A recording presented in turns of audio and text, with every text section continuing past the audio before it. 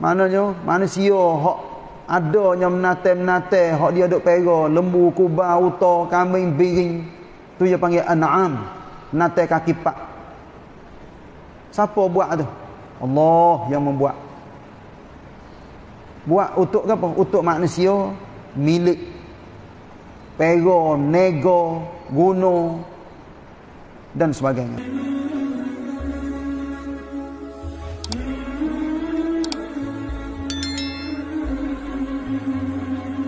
أولم, ير أولم يروا أنا خلقنا لهم مما عملت أيدينا أنعاما فهم لها مالكون.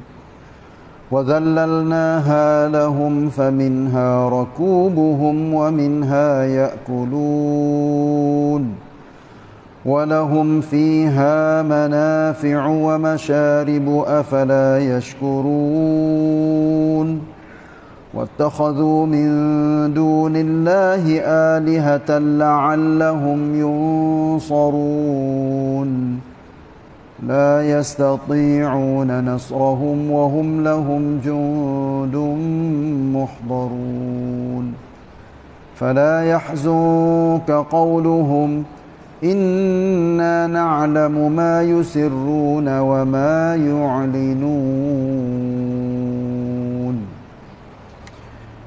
Ayat 71 sampai 76 surah Yasin.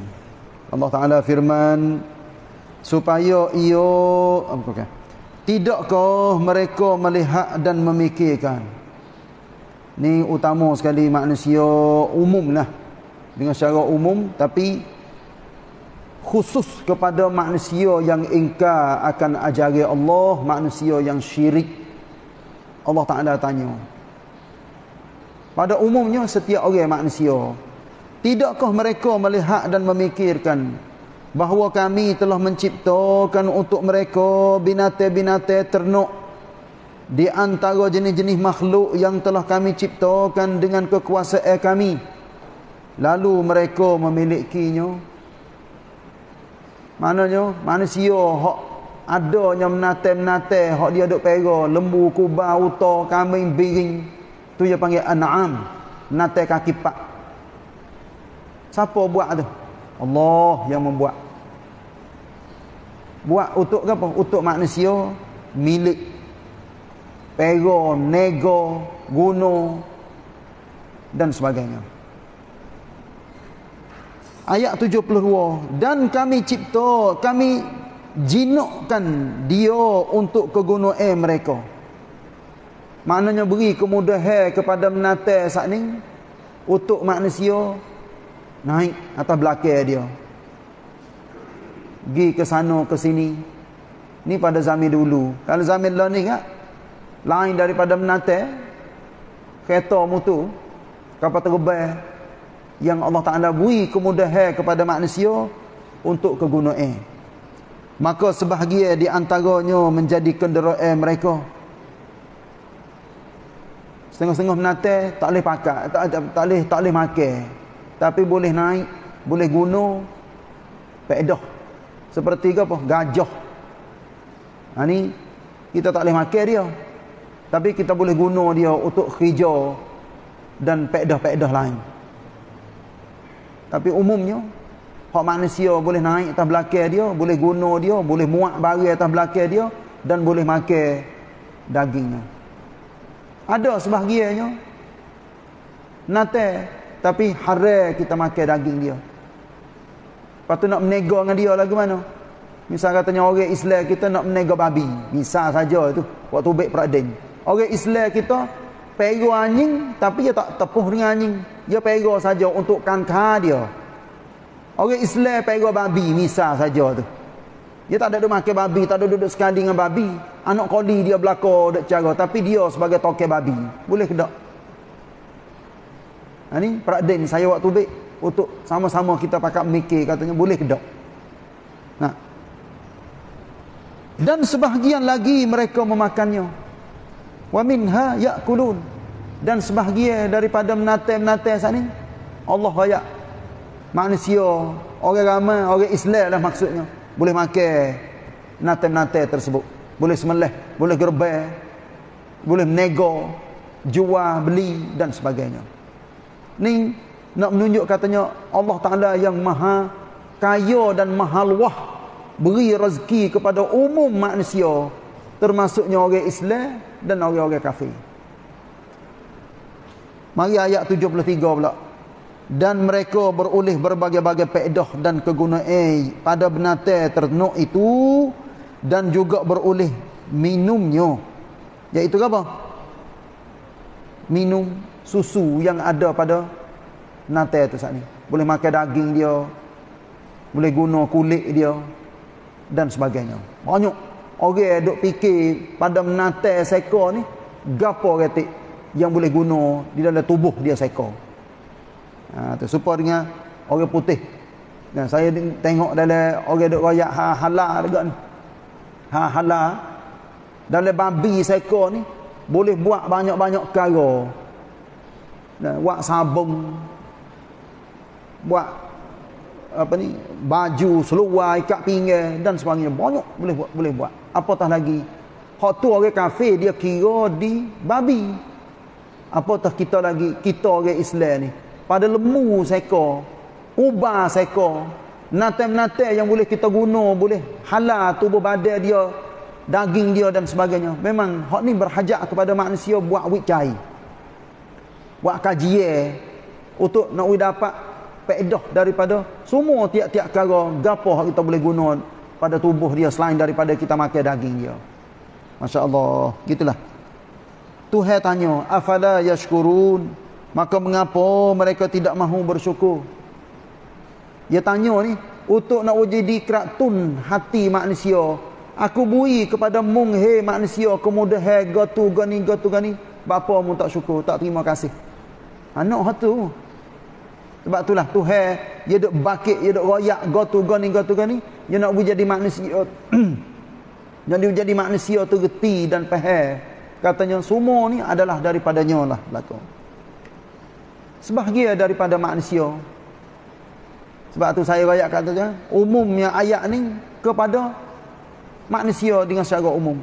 Tapi ada khusus Tuhan nak rakyat kepada orang-orang yang musyrik. Iaitunya ayat yang ke-74. Wattakhadhu min dunillahi aliha. La'allahum yunsarun dan tergamuk mereka menyembah beberapa tuhan yang lain dari Allah. Maknanya orang kafir. Orang kafir, orang munafik. Tuhan wi kesenengi hidup di atas muka dunia. Gotu gani, gotu gani. Tapi tergamuknya mereka itu kafir dan lawe Allah Ta'ala. Sebab apa tu? Dengan harap semoga mereka mendapat pertolongan daripada makhluk-makhluk itu. Tapi tak ada arah benda-benda pasal ini. Dia masing-masing nampak. Orang kafir, dia semoh, semoh, semoh, semoh. Tuhan mereka, dia berasa, dia yakin katanya hak dia betul. Lepas tu dia tengok hak kita salah. Kita orang Islam, kita yakin hak kita betul. Dan hak lain daripada Islam, salah. Ulai acak-acak kali saya sebut, atas dunia tak ada makan. Tak ada orang tengah. Nak rakyat katanya agama mana betul, agama mana salah. Nah, nak orang pakat pegang pegangi dan kepercayaan masing-masing. Buat buat buat buat usaha atas muka dunia dengan agama masing-masing. Tapi apabila siapa di akhirat sikit lagi, setengah-setengah agama tak ada akhirat. Setengah-setengah ulama, setengah-setengah agama sekadar dunia ni. Mati, mati salah lalu dah. Tak ada dah. Tak hidup semula, tak mari semula. Dan dia tak percaya kepada adanya alam selepas daripada dunia. Lepas tu, ada belakang eh. Laklai sasana, kalau dia kita mari priap tiap. Mari banding ugamu-ugamu yang ada atas muka dunia ni. Yang berbagai kepercayaan. Maka kita tak sangka tergapo kepada ugamu mereka. Sebab apa tu? Sebab itu adalah kepercayaan masing-masing. Kita percaya pasal kita, dia percaya pasal dia. Cuma kita nak royak hak kita kena royak molek. Hak tu hak penting.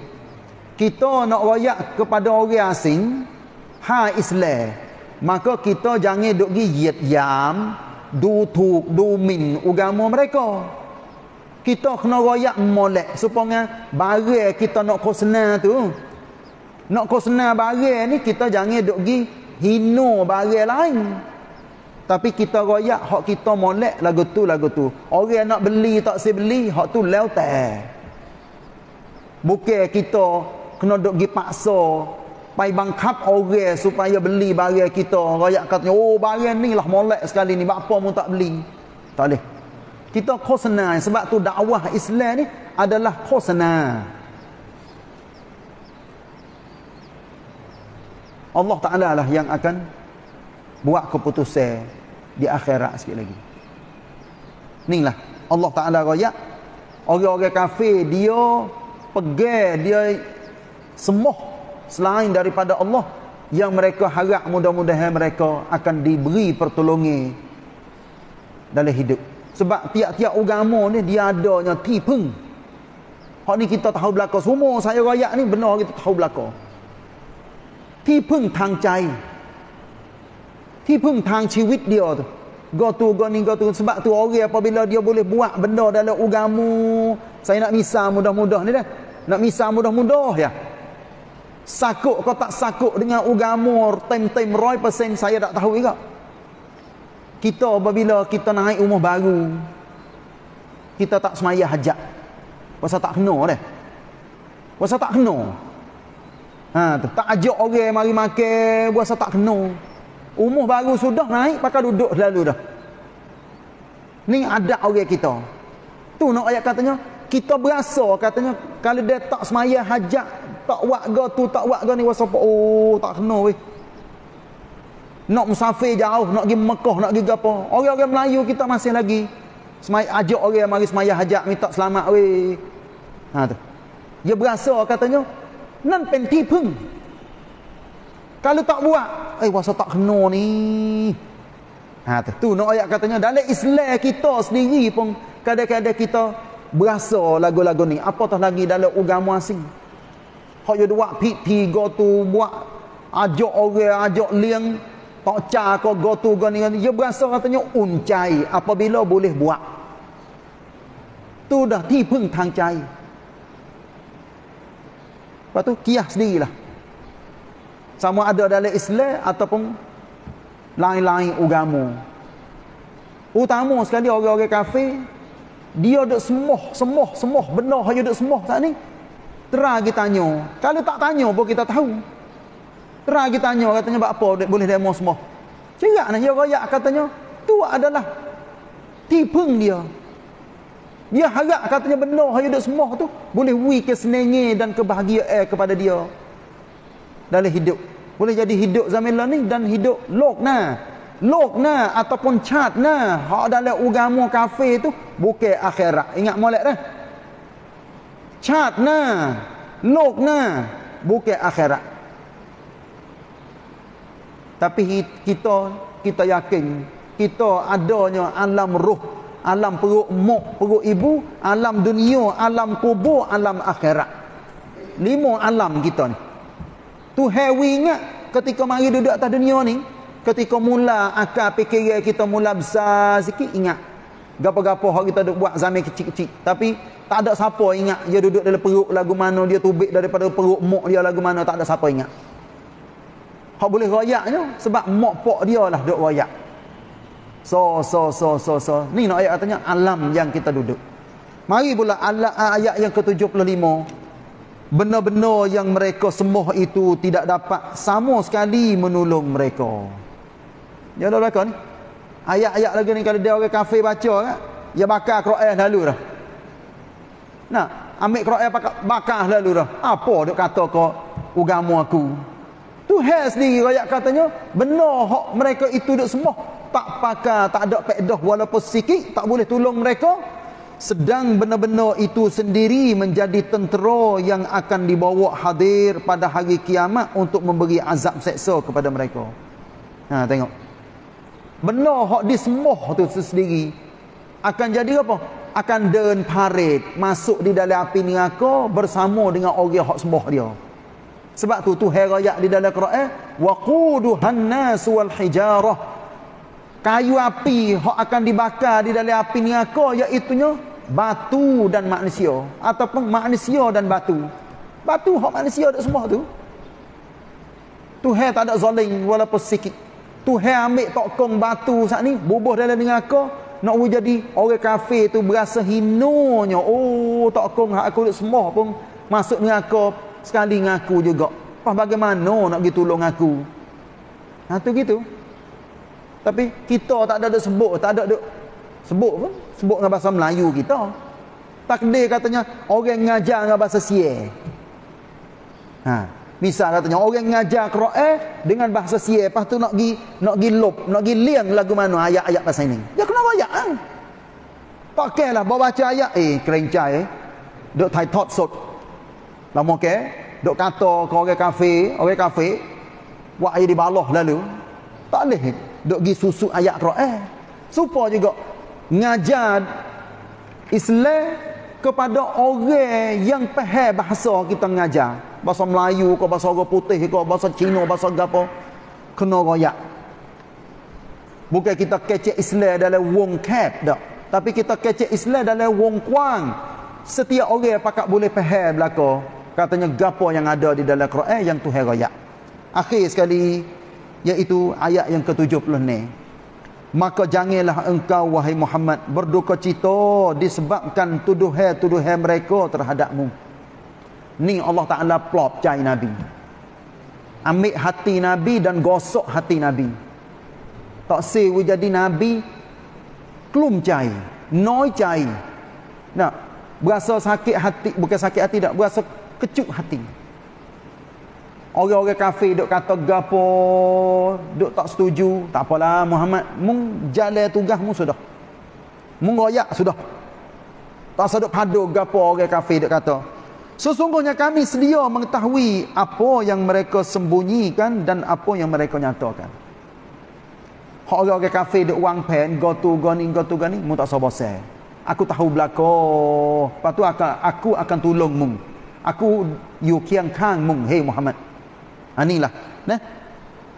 Pak lima ayat yang kita dengar pada pagi hari ini dalam surah Yasin, mudah-mudahan ia akan menjadi hidayah kepada kita dalam beberapa hal. Semoga kita menjadi orang yang faham Quran dan dapat petunjuk yang sebenar daripada Allah Subhanahu wa taala. Wa sallallahu ala nabiyyina Muhammad wa ala alihi wa sahbihi wasallam. Wassalamualaikum warahmatullahi wabarakatuh.